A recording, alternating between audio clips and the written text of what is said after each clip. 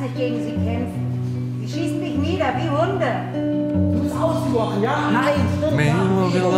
Ja, dass sie dich niemals wieder sieht.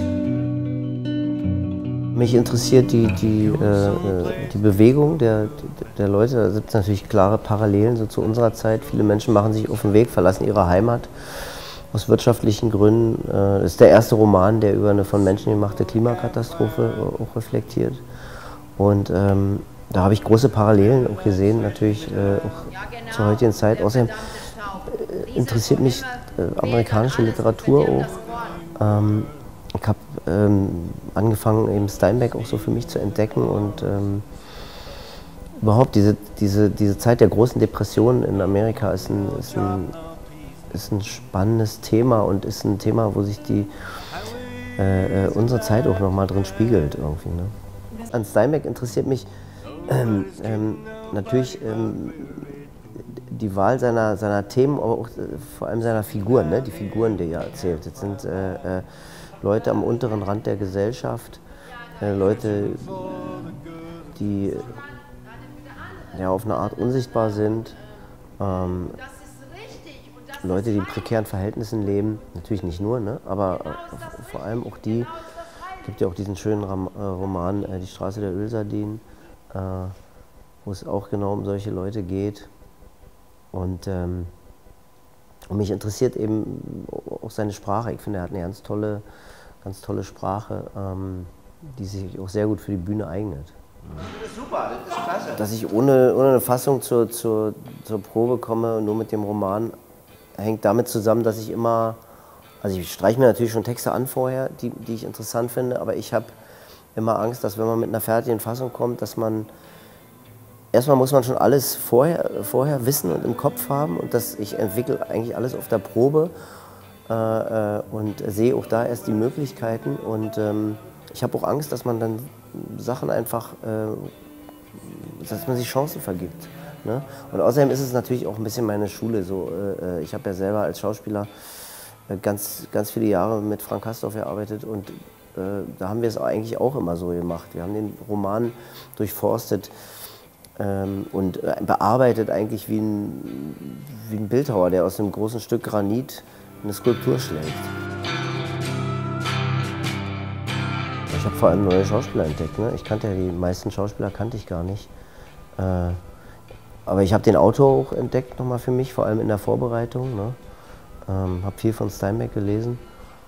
Ähm, aber ich, für mich ist vor allem immer die Begegnung mit den, mit den äh, Schauspielern und Schauspielerinnen interessant. Ähm, ähm, weil ich wirklich davon fasziniert bin und mich jedes Mal darüber freue, wie viele äh, tolle Persönlichkeiten so an den, an den Theatern arbeiten. Und wie viele Leute man da trifft, die äh, so toll sind in dem, was sie machen und wie sie denken und so einzigartig. Und äh, ähm, ja, und eigentlich kennt man immer nur so eine Handvoll. Und die Leute, die nicht ins Theater gehen, kennen nur die Leute aus dem Fernsehen oder aus dem Kino oder so. Und, äh, äh, aber wir haben da ganz viel, ganz viel tolle Leute in, in Deutschland.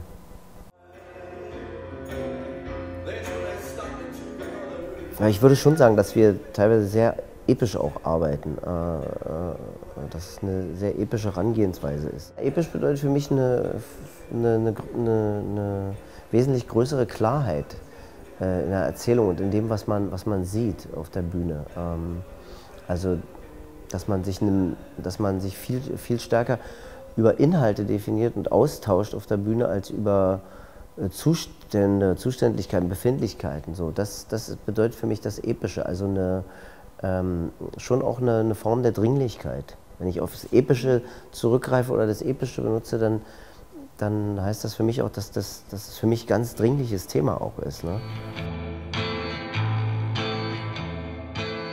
Empfinde es, auch, also auf eine, empfinde es auch auf eine gewisse Weise obszön, äh, sozusagen sich diesem Leid so anzunähern, indem man das so, ähm, ähm, also diesem Leid, was, der, das, was in dem Roman beschrieben wird, wenn man das so auf der Bühne jetzt hier vorgeben würde, das so auch zu empfinden und zu durchleben, so zu reenacten sozusagen und dann wieder äh, aber nach Hause geht in seine warme Vorstellung, äh, in, seine warme, in seine warme Wohnung nach der Vorstellung.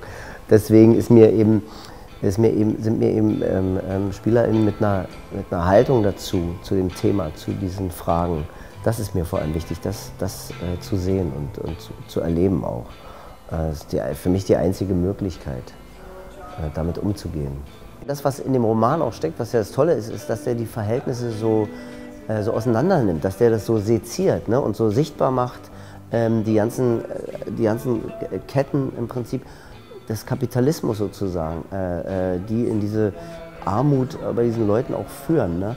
Und, und das, diese, das, was er im Roman schafft, so sichtbar zu machen, ähm, das finde ich eben äh, so toll, wenn man das hier auch schafft. Deswegen ähm, ähm, sage ich auch ganz oft zu den SpielerInnen, jetzt nicht die, die Texte ähm, erfüllen oder sowas, oder wir müssen kein Milieu spielen, wir müssen uns nicht aufs Milieu und die Atmosphäre konzentrieren, sondern auf das Sezieren der Gedanken, dass, dass man das verstehen kann.